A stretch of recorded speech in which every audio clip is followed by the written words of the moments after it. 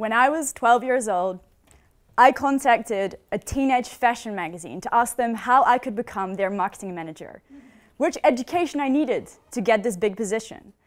And when I was 11 years old, a year earlier, I contacted the head coach of these Olympic rowers in New Zealand for my school project. I mean, I was 11, and they replied. I mean, how crazy is that? And I got a principal's award for this, an award out, uh, given for outstanding work for a student at the primary school. And this is me up there in my school uniform in New Zealand with a sweat sweatband watch. I mean, I thought that was trendy. The fashion police didn't call though, they should have. What Daniel already explained to you is that uh, networking is my hobby, but as you were saying before, it's not yours. And some people think I'm crazy, but that's actually why I'm standing here today is because I want to share my stories and strategies about how it became my hobby. So I was saying before is that when I was 11 or 12, I was already networking. Um, but when I was at university, I realized that my friends thought about it in a totally different way. So we were all looking for internships, and I said to them, like, why don't you just call the company and ask if they have, th that they have a position for you? And they said, no, I'm not going to call them because I'm super scared that I'll be on the phone and, oh, I don't know what to say, or that they'll ask me a question and I'll totally blank. And this is actually the first time I realized that uh, networking had sort of become my superpower. And that's why I'm standing here today, because I want to share my stories and strategies so that it will become your hobby as well, and that will no longer feel like a chore. This is me uh, at a networking event. You see that I'm in my element, like a big smile on my face. I actually uh, put this picture on Facebook as a joke. I said, hey guys, networking can be fun. Look at me in this picture. And then people send me a message like, oh, can you teach me? Like, give me your workshop about it because I hate it. When I was uh, preparing this talk, I thought, what helped me in my childhood to make networking my hobby?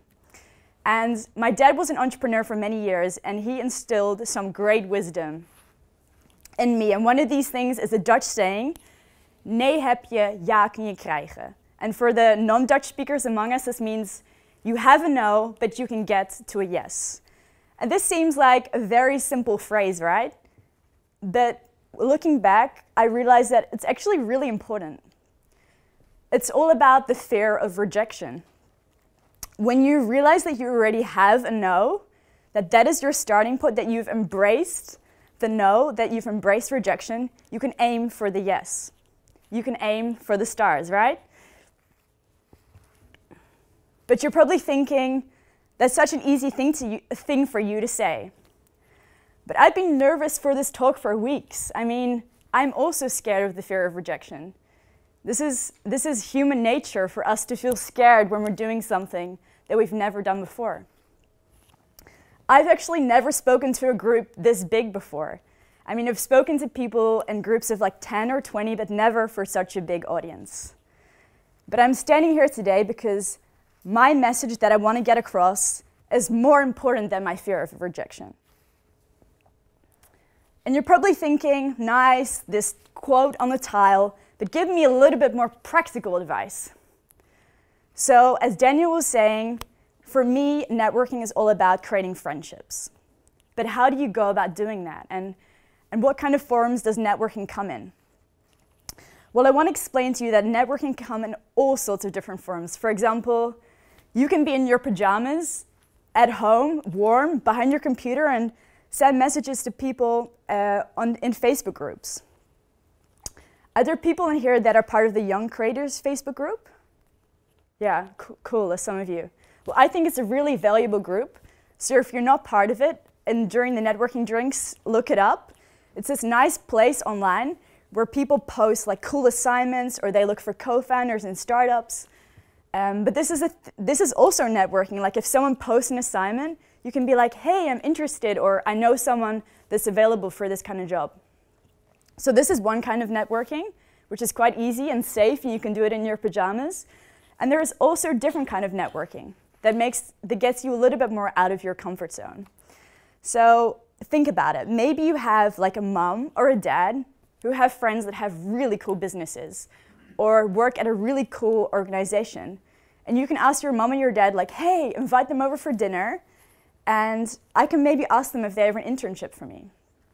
That way, you can be at your own family house, have a dinner that you're comfortable with, but meet someone new. So that's something a little bit more out of your comfort zone. And then there's things like sending an email to a complete stranger or calling someone up on the phone, like I was showing before, someone that you've never spoken to before, and that can make a lot of people quite nervous. But it's nice to realize that you can really build it up and get better at each time. A lot of people think that networking is all about gray haired men in suits, and that you come to a networking event and you're like in the corner and you're like, oh, I don't know anybody. But for me, this is really like here on the scope. Um, but you can start there, right? And as I was saying at the start of my talk, I've been networking since I was like 12 or 13, and now I'm nearly 25. So I've had a lot of practice. So my first lesson that I wanted to share with you is nee heb je, ja kun je krijgen. You've got to know you can get a yes. And my second lesson is all about the power of a curious mind. That sounds exciting, right? So I want to tell you a little story. I live in Rotterdam, and I moved there about a few years ago. And I really wanted to go to this concert by this French composer. Maybe some of you know him, Yann Tiersen, from the composer of the movie uh, Amelie. Um, yeah, I'm not a singer. Um, but I contacted some friends and I said, hey, who wants to come to this concert with me? And one friend said, uh, no, I'm broke. Like, don't you, don't you realize I'm still a student? And someone else said, and we really don't have the same music tastes. Um, so I thought, oh, I really want to hear my favorite song live. So I ended up going by myself. As Daniel said, I'm a little bit crazy, so I did this. And I walked into this room and the lights were bright like this, but they never, the room never actually got dark. So there's all these people standing with their friends, and then there was me. Um, and so I thought, this is the worst way I could spend an evening. This was such a bad idea. Um, and the, the funny thing was is this, this musician never played my favorite song because he had all these new albums that I forgot to listen to. And yeah. but as I was, I was at this concert and there was this guy, this lanky ginger guy, um, with this, what I thought was his girlfriend. And this, this girl, she left to go grab a beer or go to the toilet. And I thought, this is my moment. there is there is no one else in the room that is by themselves except this guy. So I ran over to him and I said, hey, worked up all my courage. And I said to him, what did you think of the opening set? I personally thought it was terrible, but I was curious. And, he, and we started chatting, and I said to him, uh, what do you do? And he told me that he ran his own business. And I said, I'm actually working on my um, thesis on entrepreneurship. And he said, actually, I'm on the board of this cool networking club in Rotterdam. You should really join our events. And as we were talking, his girlfriend walked up and she probably thought, why the fuck is this girl talking to my boyfriend? I mean, this wasn't the plan. So things got awkward and I um, went there to stand by myself again. Let's just say it was an awful evening. But the thing is, is that I ended up going to the events of this networking club, and I also got invited to this special speed dating event um, where young entrepreneurs got to meet directors of big Rotterdam companies like the Port of Rotterdam, Erasmus University, and Rotterdam The Hague Airport. So there was little old me, just graduated, and I was sitting across from the director of Rotterdam The Hague Airport. And I thought, this is a speed date setting, right? So we only had two minutes.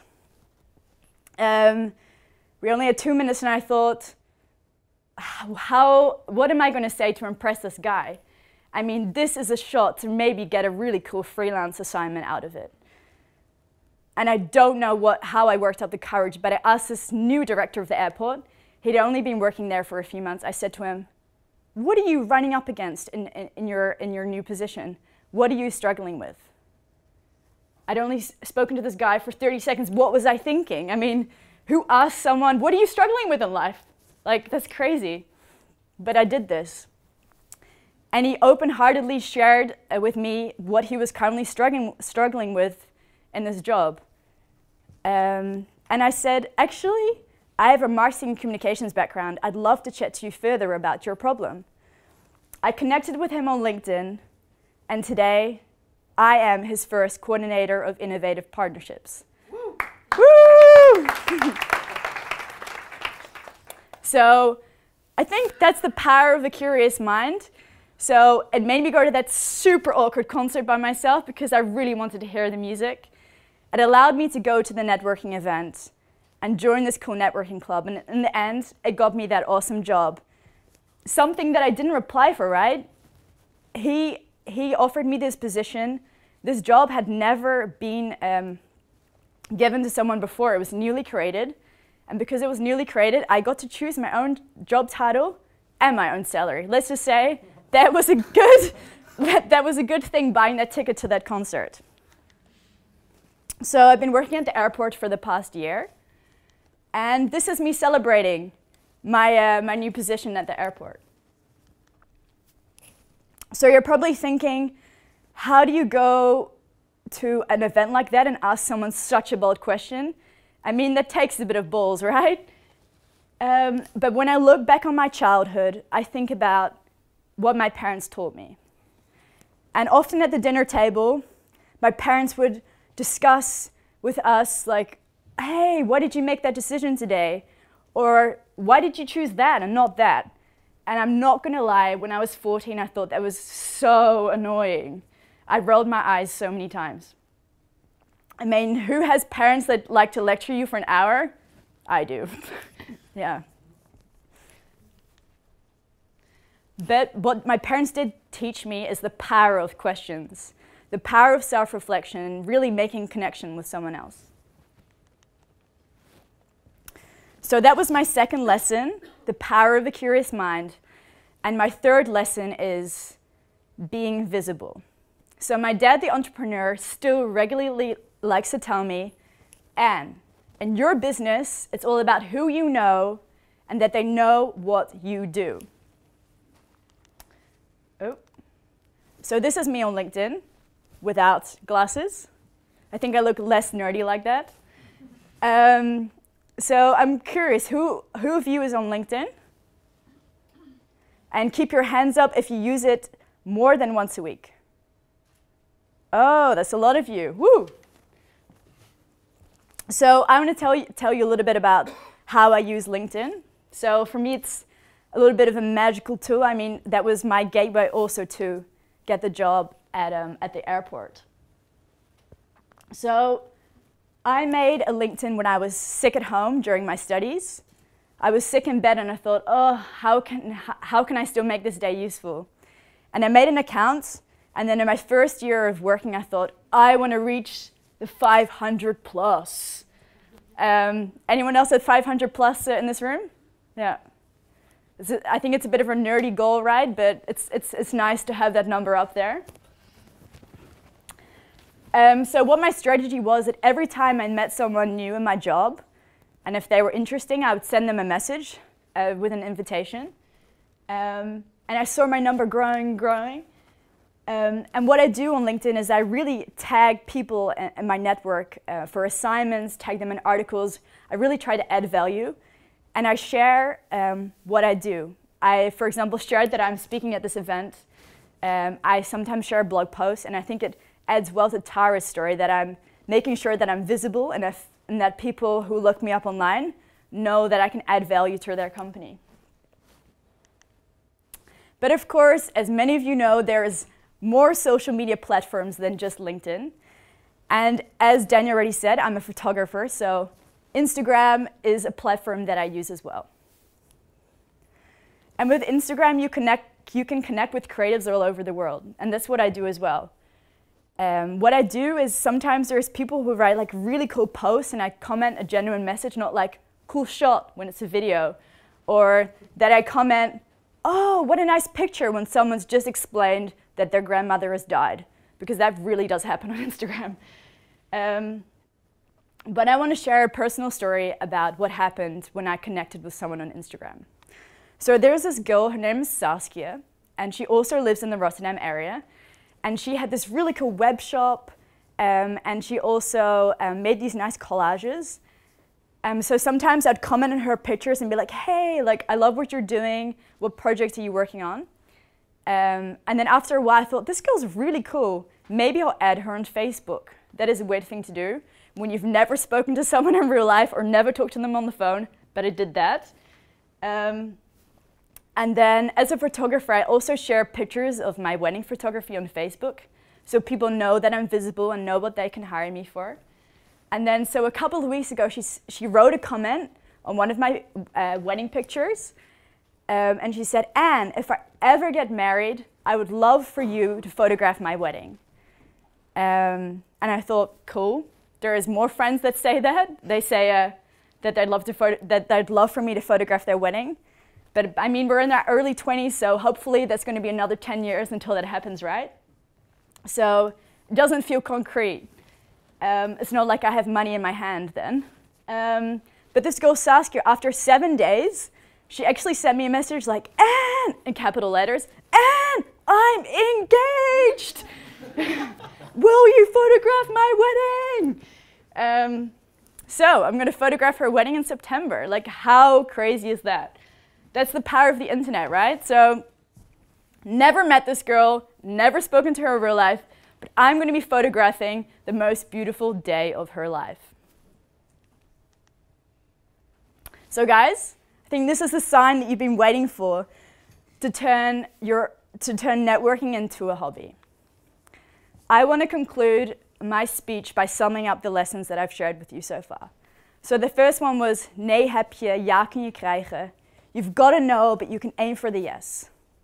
It's all about embracing the fear of rejection and making your goal bigger than your fear of, um, of doing it. The second one is all about the power of the curious mind and really having meaningful conversations with other people, like the director of the airport and the guy at the concert.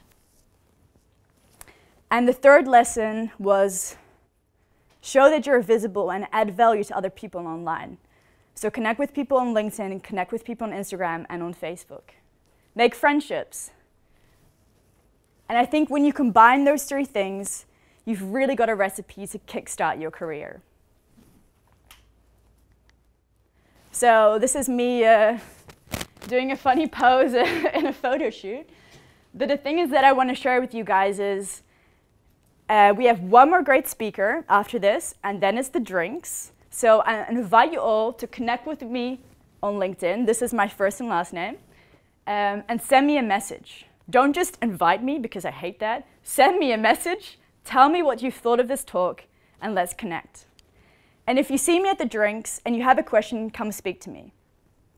Because in all honesty, I won't bite. I'll only ask you a million questions. Thank you.